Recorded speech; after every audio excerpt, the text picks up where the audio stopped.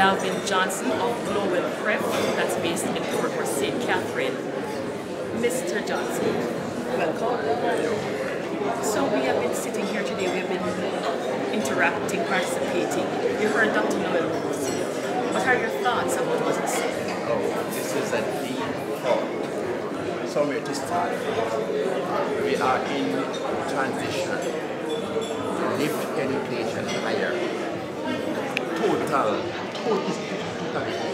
And we, the, the, what we are here today to upgrade our skills, our thought, our preparation to move school institution.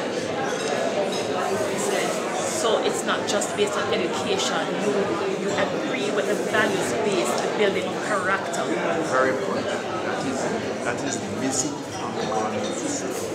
And it's a shame. I don't know what is going on, without the value system of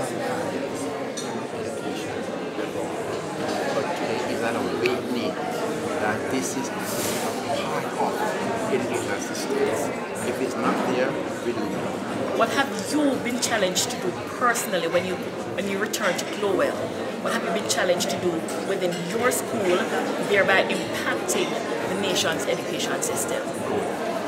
It's mean to start from, from scratch. Yes. To build this image of what the education system from a biblical point of view. We go back to the basics. Yes. Because what in fact is not much biblically done this school. My school is Faith-based. and we do a lot, but not many people, not the students is still not, not really there, but we are know, enhancing this image of the education system, and they are now going build on what we have been doing. We hinder and come again we need to so very much, Mr. Johnson. It was our pleasure speaking with you. And we look forward to visiting Glowell. Yes. It's an interesting name, Glow Well. That's right. Interesting name. Looking forward to seeing you and visiting you for more. God bless you. Thank you so very much.